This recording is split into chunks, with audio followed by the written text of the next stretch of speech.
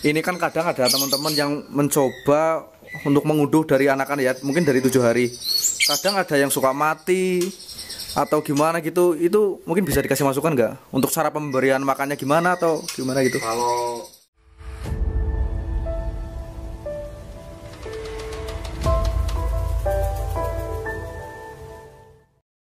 His music is saying "F- you to the audience, but in a really beautiful way. It's like "F- you, I love you. Now let me play you some beautiful music. You know, so there's this feeling like um, they're gonna do whatever they want and, and assert their own will, and not worry about how it's being understood or whatever. Yet the wonderful thing about that is that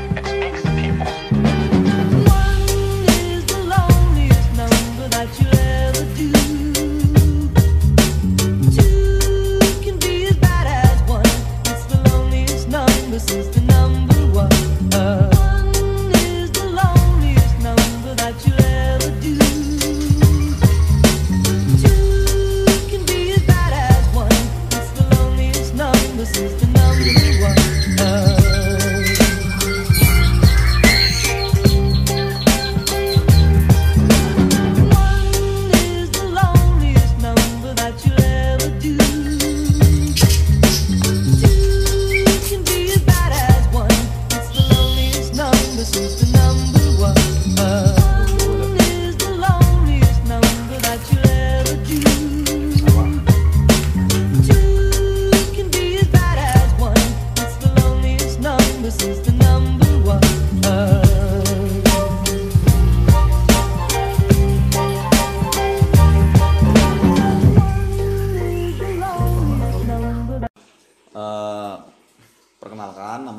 itu nama aslinya biasa dipanggil Muji.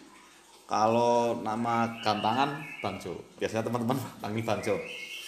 Terus nama PF saya Mahkota PF.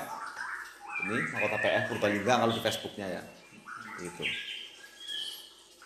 Alamatnya mas, Untuk ya alamat alamat saya yaitu Mahkota PF di Desa Pengalusan, Kecamatan Repet, Kabupaten Purbalingga. Dari pasar Pengalusan ngulon terus arah pariwisata lah. Sambil dolan-dolan lihat trotolan beli kan mungkin bisa diceritain. Om, Om ini untuk sekarang mungkin awal dari awal itu profesinya apa Om? Kalau saya profesi utamanya yaitu wira swasta, itu pemborong di salah satu perusahaan BUMN itu semenjak tahun 2005. Nah, terus dan usaha kecil-kecil lah. Kalau untuk ini mulai itu tadinya hanya iseng. Tadinya iseng karena saya juga suka burung, terus tergiur dengan teman-teman yang lain kita ke sana ke sini terus apa namanya ini bikin ternak kan akhirnya kepingin kepingin ya alhamdulillah ya jadi seperti ini sudah Nah mungkin gini Om, Om ini kan termasuknya apa borong ya? Ya. Bisa dibilang kan udah mapan ya Om. ya? Ah. Dari segi ekonomi mungkin bisa dikatakan kan udah aman lah. alhamdulillah Hmm.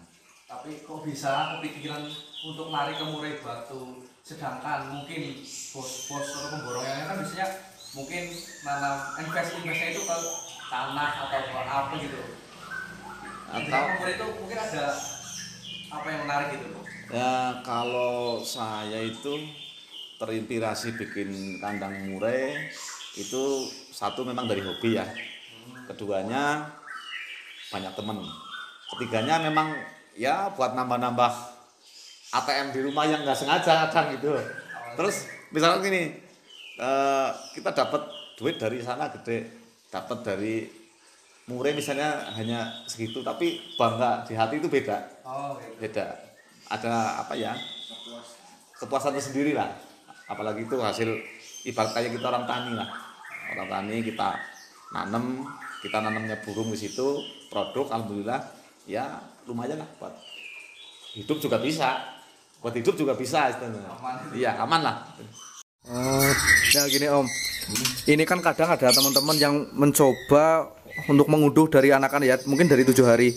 Kadang ada yang suka mati atau gimana gitu itu mungkin bisa dikasih masukan nggak untuk cara pemberian makannya gimana atau gimana gitu Kalau kalau saya sih tetap apa? Karena nguduhnya tujuh hari kan di sini kan dingin, Oh. jadi harus agak tua. Terus kita kasih pagi tuh pertama pasti jangkrik dulu, jangkrik jangkrik dulu diambil badannya, terus dimasukkan ke ini nih, ini vitamin, vitamin burung. Kemudian baru dikasih ini pur basah. kasih berbahasa Iya.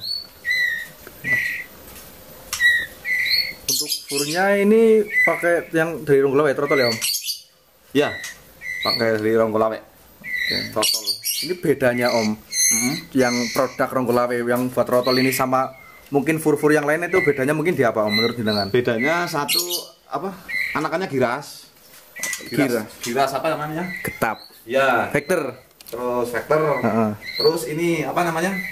Eh, pertumbuhan bulunya cepat. oh gitu Makanya lahap. Nah gini om, katanya kalau pakai produk yang trotol itu kalau udah makan itu nggak usah dikasih jangkrik atau apa udah aman. Ya, kalau itu sih tergantung kitanya ya. Kan. Oh iya. Hmm, kayak di Indo kan kan kasih jangkrik, tapi ya bisa juga aman itu.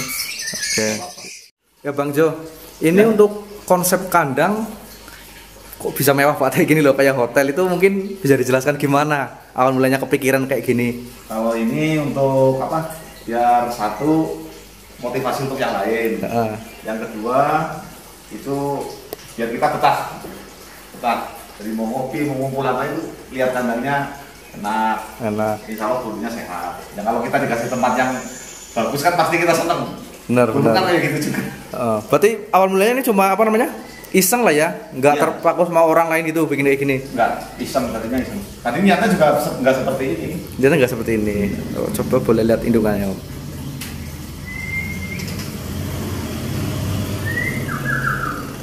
Ini murai apa om namanya nih? Ini Medan kali Medan. Medan kali Medan. Ya, itu ekor dua-dua. oh, kan dua-dua. Heeh. Kalau itu sekitar tiga, 13 yang betinanya. Oke. Ini gini om. Untuk total indukan berarti ada berapa ini saat ini? Total indukan berarti 10 kandang. 10 kandang. Iya.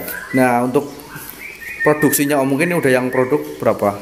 Yang produk alhamdulillah satu, dua, tiga, empat, tujuh.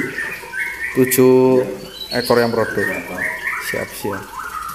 Mungkin bisa dikasih masukan nggak om buat pemula yang mungkin udah mencoba ternak murai tapi belum produk-produk bisa dikasih masukan mungkin dari konsep kandangnya atau gimana gitu.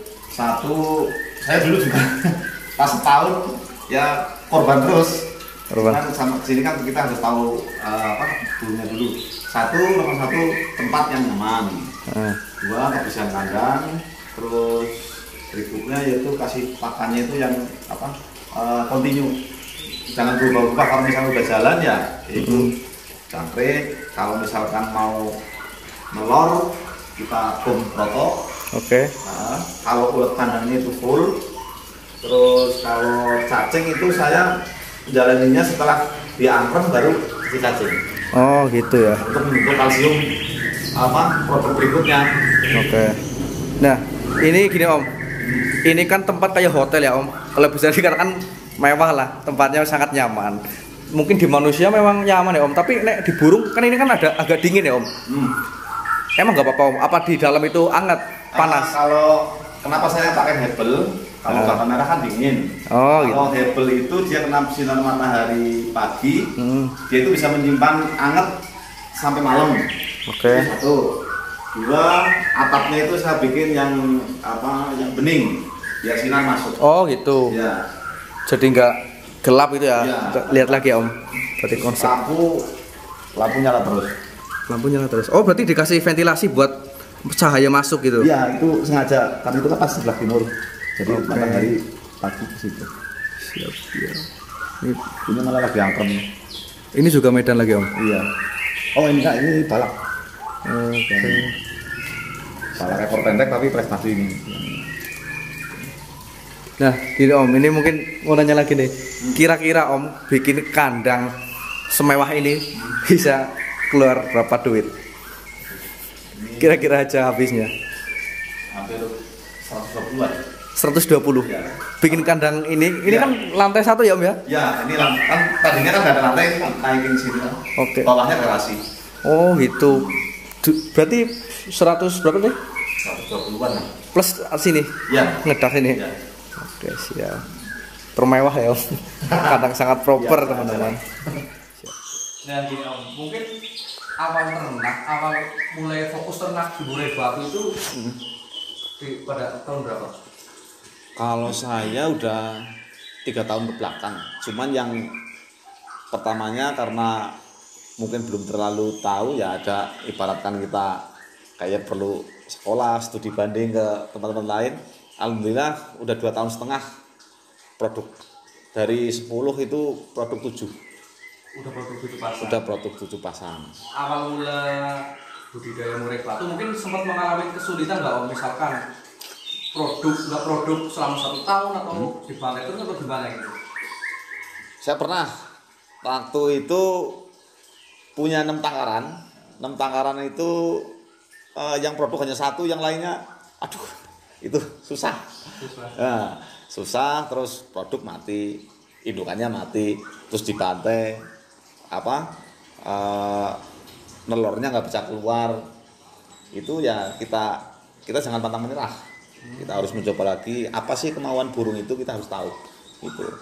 Mungkin kadang-kadang teman-teman ada yang bingung kok gimana nggak produk-produk sedangkan yang si A, si B jadi mungkin berarti itu harus benar-benar dipahami dulu burungnya maunya apa ya om? Ya, kita harus tahu kemauan burung itu apa. Jangan kemauan burung jangan nurutin kita, kita yang harus nurutin burung. Itu. Itu satu. Dua, jaga kebersihan kandang, terus atur suhunya. Misalkan kita kan tempat dingin, makanya saya pakai lampu kan 24 jam Oh, fungsinya buat biar anget. Anget. Hmm. Terus kalau sore saya kasih walaupun 10 biji apa berapa biji itu ulet kandang, eh ulet hongkong untuk ngangetin aja. kalau jangkrik itu wajib. Jangkrik wajib setiap jam 9 pagi jangkrik ulet kandangnya itu eh, full sehari. Pakai fur. Ah, enggak full, full sehari ulet kandangnya. Berarti indukannya nggak pakai fur atau apa? Enggak, enggak pakai full. Oke. Nah ini kan bisa dikatakan 10 pasang udah jadi 7 pasang ya om. Ya. Itu kira-kira per bulan bisa keluar total berapa om? Kalau trotol ya nggak tentu ya. Kadang paling 10, kadang sampai 20 juga pernah gitu kan. Rekor atau total? Iya, itu iya. 20. Tapi namanya rezeki kadang dibagi-bagi tiga pun produk tiga, kadang dikasih ini tiga, tiga, tiga lolos semua. Kadang tujuh kandang angkrem semua, netes semua. Ini ada yang satu, ada yang dua, ketemunya juga sepuluh juga. Jadi yang penting disyukuri aja lah. Ya, benar. Nah untuk anakannya om, Hmm. ini berarti kan om ini kan tentang murai batu. Hmm. Itu cuma ternak atau plus ikut lomba? Kalau saya ternak untuk dijualin, terus ada juga kita ngam- ngambil sampel-sampel dari ini bibitnya ini. Kita bibitnya ini kita harus punya sampelnya. Oh ini juara, ini digantangin gitu. Tetap harus kita punya sampel. Misalkan kandang nomor 4 anakannya ini udah masuk di ini ini gitu. Oh, berarti juga main lapang juga lomba ya? Main lapang. Nah ini mungkin misalkan ada yang nonton video ini om, ada yang berminat untuk memboyong protol dari markas mahkota berkam ya om. Itu biasanya jualnya itu mungkin yang dari paling murah sampai paling mahal berapa om? Eh, itu paling murah sekitar 2 jutaan untuk jantan ya udah udah dipastiin jantan terus sudah mandiri sampai tiga setengah Berarti mulai dari 2 juta sampai tiga setengah. iya itu ringnya PPN terus itu udah apa indukannya udah prestasian lah ekor panjang juga ada Oh itu kualitasnya berani dan Iya. Berikan ya om. ya. berani ya Siap siap siap. Nah gini Bang Jo, ini mungkin kan buat teman-teman di luar sana ya Om, dari mungkin pemuda sampai mungkin ya bos lah yang mau mencoba orang awam tapi pengen mencoba ternak murai batu.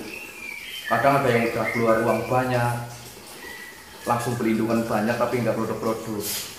Mungkin bisa dikasih tipsnya nggak Om yang mungkin dari awal membangun kandang sampai pemilihan indukan plus proses penjodohan sampai ke belakangnya lagi gitu lah pengalaman jenengan aja gimana kalau saran saya yang untuk pemula itu eh, ya kita sharing aja ya. Saya juga nggak terlalu Sesuai pengalaman. Ya, sesuai pengalaman saya yang saya jalanin itu satu di kandang dulu. Kandang itu harus satu nyaman, terus suhunya teratur, terus di situ apa bersih kebersihan kandang. Terus yang kedua baru kita nentuin indukan nih Ah, indukannya itu kita harus benar-benar nyari yang eh, benar-benar satu sehat, dua bagus. Soalnya saya pernah beli indukan yang asal juga tetap gombang ini yang bagus sekalian, sehat, udah siap produk. Yang ketiga itu atau pakan.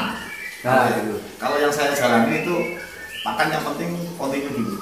Jangan ganti-ganti ini mewah kasih ini jangan hmm, satu pagi saya biasanya yang saya jalanin itu kita jam 8 jam 9 saya ngasih ular kandang eh, sama cakrek itu wajib Eh, terus misalkan eh, ini udah ngangkut nih betinanya ngangkut.